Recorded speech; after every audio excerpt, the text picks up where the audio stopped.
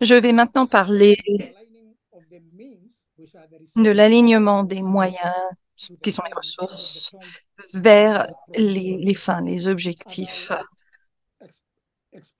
Donc, du haut vers le bas. Et je vais utiliser ce modèle que vous voyez à l'écran. Alors, donc ceci montre l'écosystème de la sécurité. Et je vais en parler en commençant du côté Vous voyez l'état final. L'état final du point de vue de la sécurité nationale. Ça, c'est en fait euh, la réalisation, la concrétisation de la sécurité. Ce mène à un, un État-nation stable. Et donc, on a la sécurité, ensuite la stabilité. Une fois que ceci est accompli, vous pouvez vous développer au niveau économique. Et donc, à la fin de tout cela, vous avez un État-nation.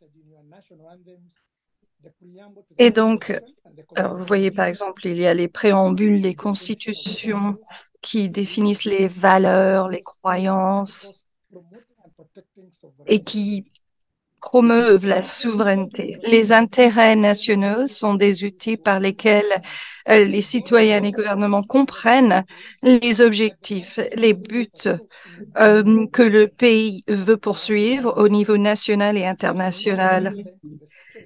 Les intérêts nationaux sont vraiment au cœur de tout ceci. Alors, il y a de multiples intérêts nationaux. Et ces intérêts et sont connus comme les intérêts nationaux. Et donc, la stratégie de sécurité nationale promeut et protège ces intérêts nationaux. Donc, la question est comment on établit ces intérêts. Alors, ceci euh, m'amène à la gestion des, des ressources de sécurité en Afrique actuellement. Et donc,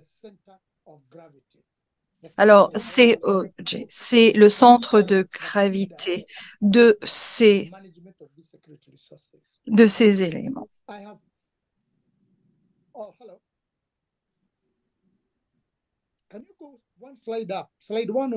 Est-ce que vous pouvez revenir?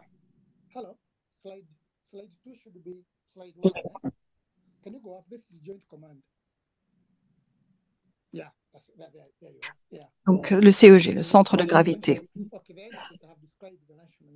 Alors, donc, j'ai parlé des intérêts nationaux. Donc, ce centre de gravité, le CEG, a mis la justice sociale au cœur de, de ceci. Donc, l'injustice sociale est notée comme le centre de gravité comme défi.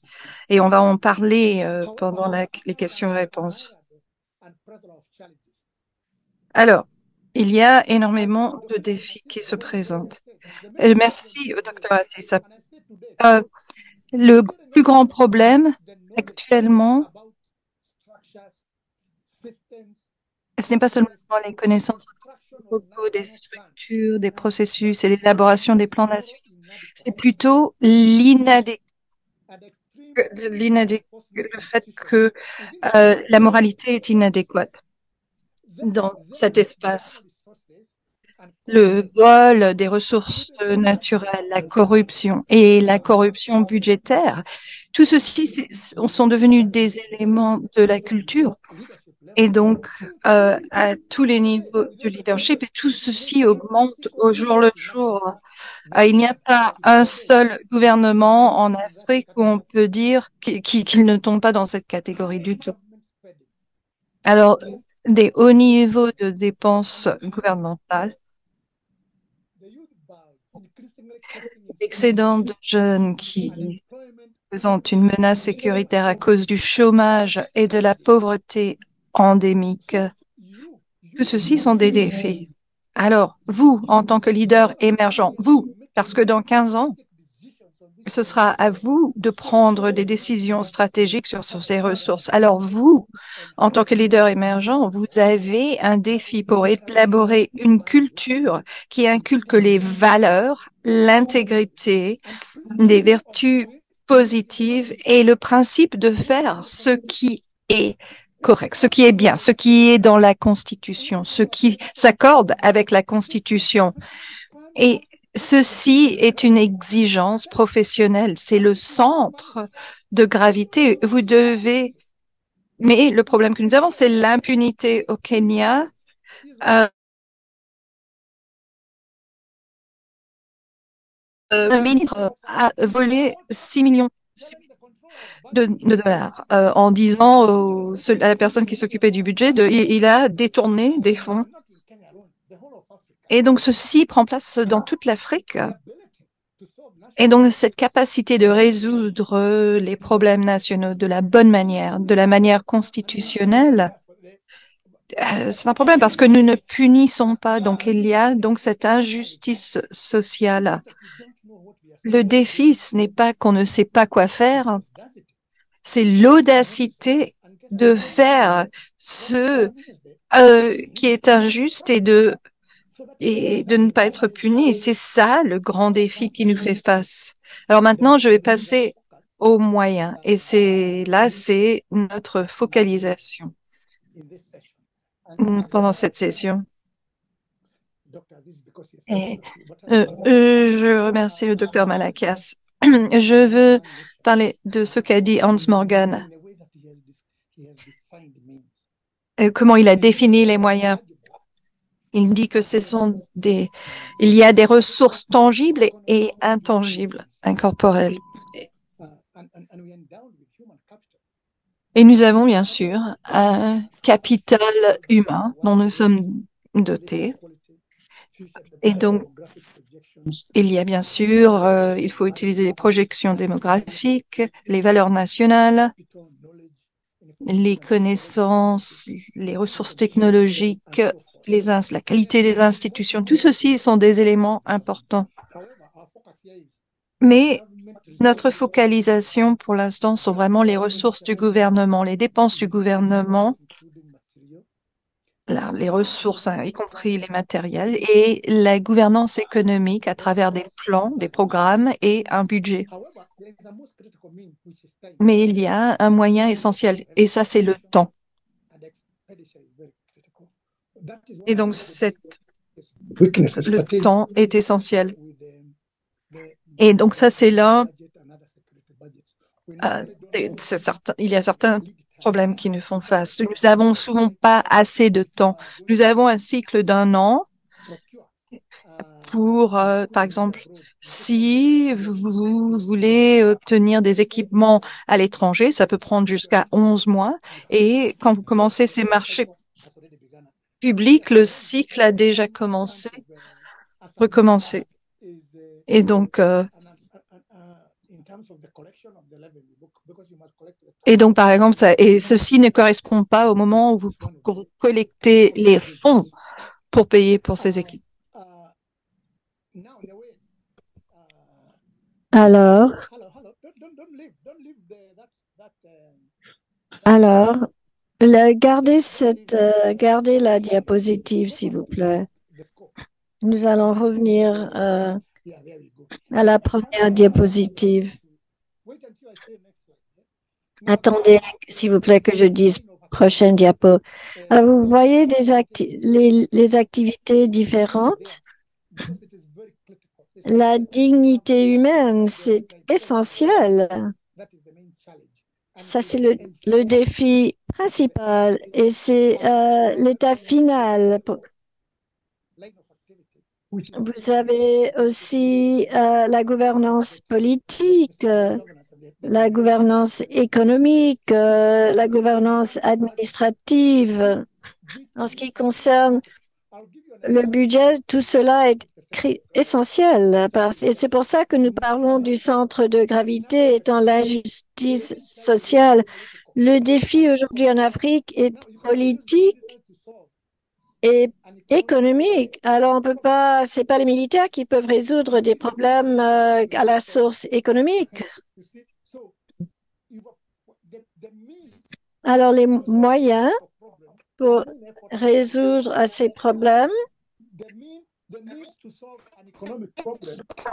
les moyens pour résoudre à ces problèmes, l'interprète s'excuse, le son est complètement gribouillé. Ah, c'est bon, c'est mieux.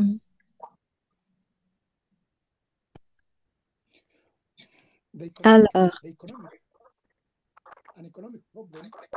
un problème économique doit être résolu par des économistes ou par des moyens économiques.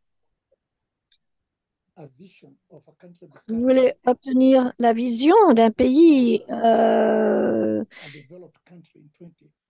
en tant que pays développé, développé, disons, 20 ans. Alors, il faut résoudre les problèmes économiques et aussi euh, une, une bonne gouvernance administrative est essentielle. Il faut avoir des efforts qui appuient euh, ces objectifs. Les moyens donc essentiels euh, sont du secteur économique. Le secteur privé et la société civile sont essentiels en ce qui concerne la mobilisation des moyens.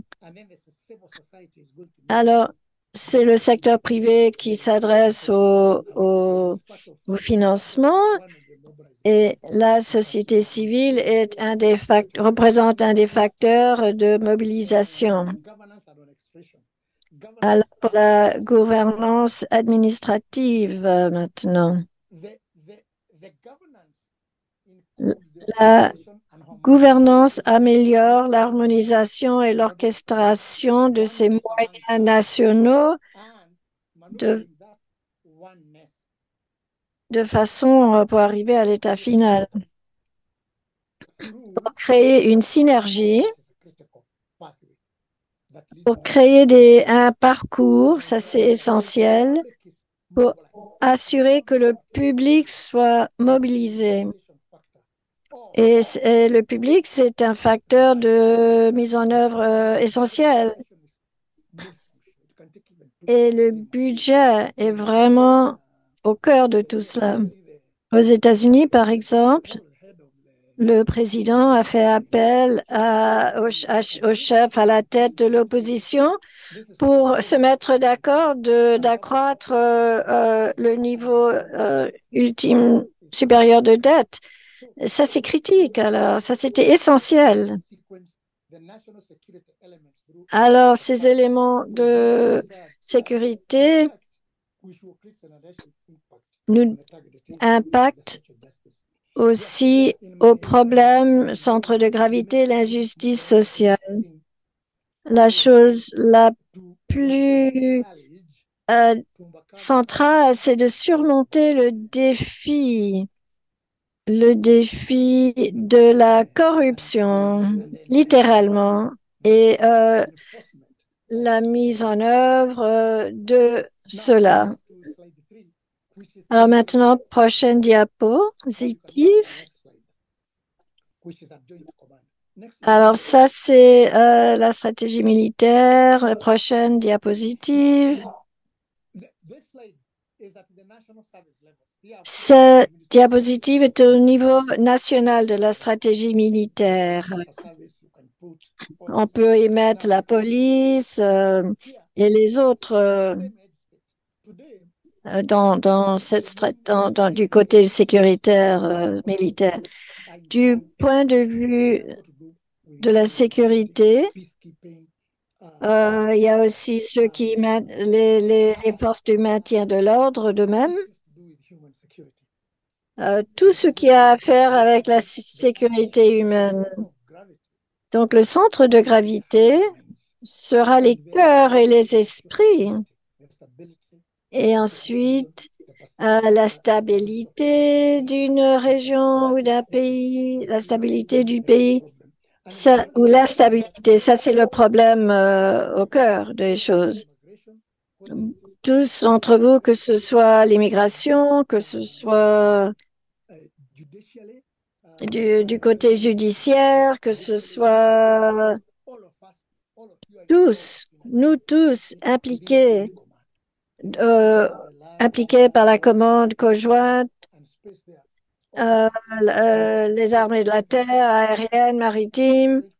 Vous allez voir euh, ceux qui font partie de la planification de la commande conjointe comme se penchent sur les moyens, les, ceux qui travaillent dans la logistique, l'armée de terre, de l'Ariane maritime, les autres, euh, les autres, euh, les alliés vont aussi faire partie de la commande conjointe et les moyens seront planifiés par les personnes dans la logistique pour, pour le soutien. Ensuite, le consortium de G5, même au sein de la première diapositive, que ce soit la sécurité nationale, que ce soit des, euh, des conseillers nationaux économiques, de sûreté, etc. En ce qui concerne l'orchestration,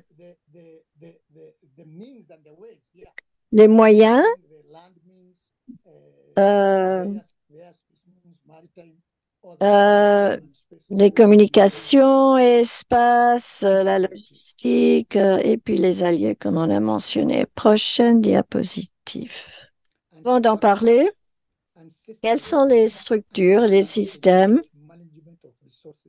qui assurent que la gestion des ressources soit intégrée, bien intégrée dans le budget national?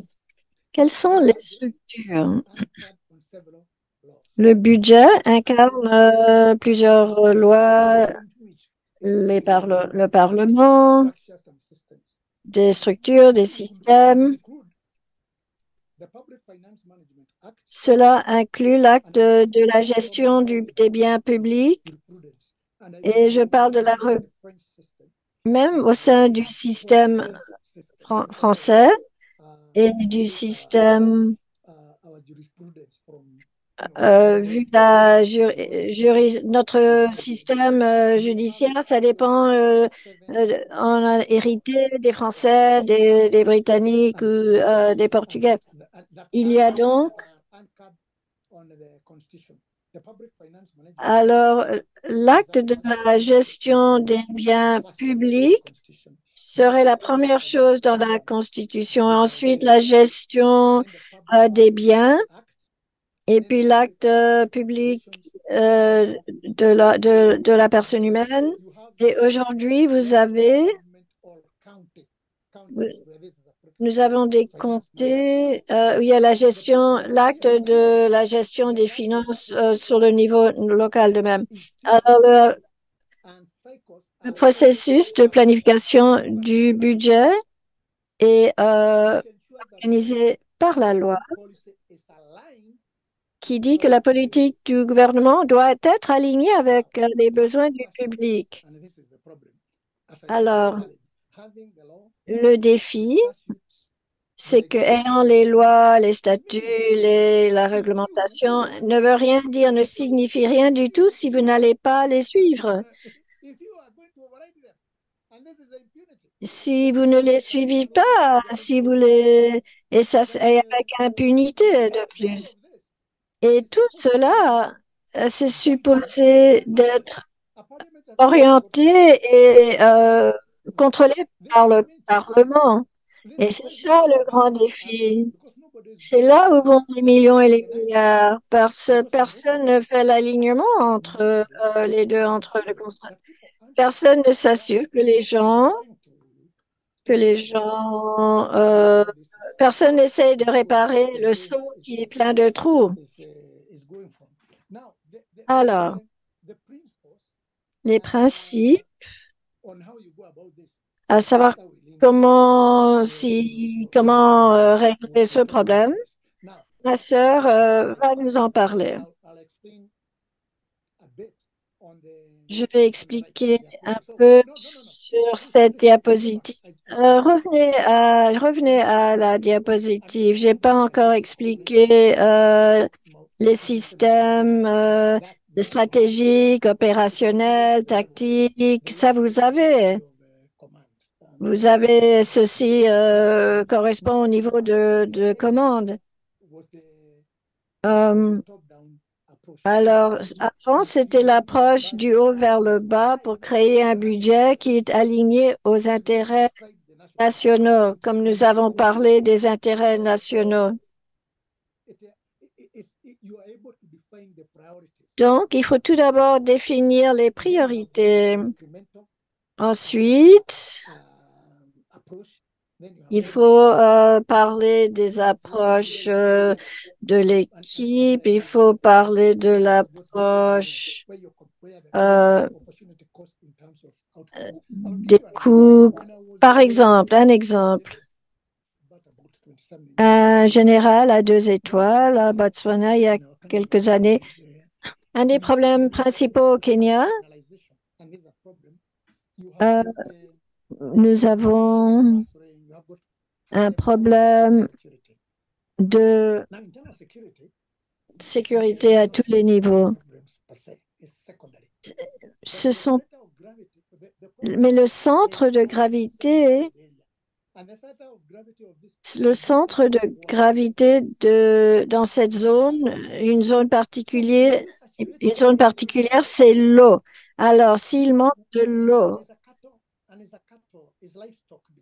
et donc le bétail, euh, si vous saturez la zone avec de l'eau et, et, vous pouvez suivre le mouvement des animaux, les chameaux et d'autres bétails, ce que vous faites, vous assurez que tous les 10 ou 15 kilomètres, vous mettez euh, des puits et autre chose. Nous sommes arrivés avec les commandants de service. On a dit, il y avait des, zones de sécheresse. Qu'est-ce qu'on va faire? On s'est demandé. Alors, on, on a mis de côté le budget que nous avions déjà pour le développement et nous avons décidé à le budget, on aurait, on allait acheter euh, des chars, mais c'était assez d'argent pour construire, pour dé développer. Euh, tout, on a acheté donc, euh,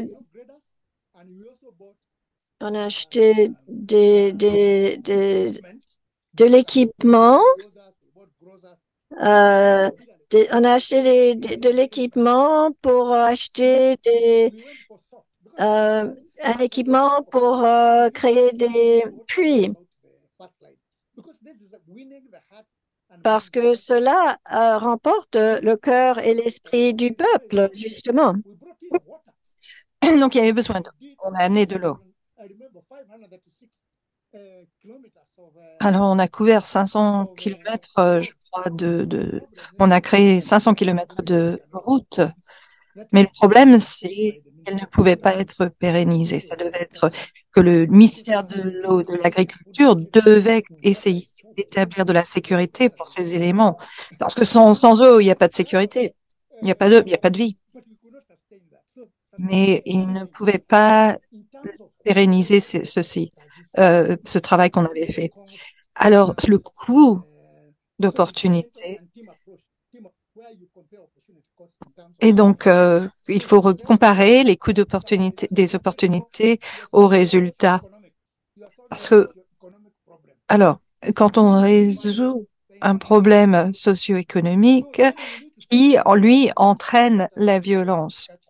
Alors, il faut parler au ministère de ministère de l'Agriculture, au ministère qui s'occupe de ces éléments pour décider comment on s'attaque à ces problèmes. Et vous devez vous rassembler en tant qu'équipe pour travailler sur ces sujets. Alors, ce qui marche, c'est une approche à multiples facettes. Les systèmes